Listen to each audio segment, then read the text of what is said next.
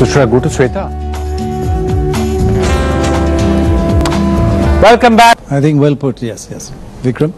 All right. Uh, yes, sir. You wanted to say something. Yeah, uh, I'm the president of the tourism uh, tour operators, and we are really disappointed with this budget because one of the priority areas which the prime minister had said was tourism.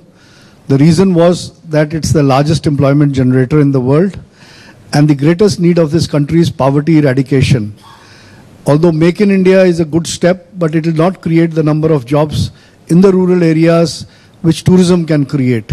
So we expected exemption on service tax based on foreign exchange earning, which the physical exporters are getting.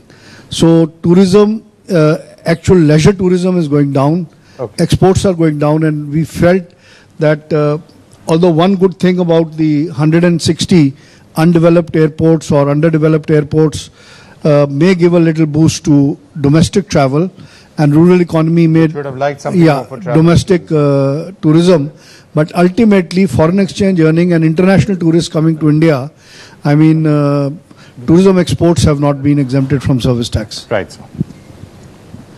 Well, let me let me come across to you and get. We've had some time now to look at the fine print and see everything that's happened. So, what's your take now? Uh, at the end of the day, still holding to your view? Yes, I think so. I think the you know the, the overall perspective is very comprehensive. Uh, the, the the key area that the the government has tried to address is how to revive demand, and it's tried to revive demand because it, it cannot revive demand directly for. No. So, should I go to Sweta?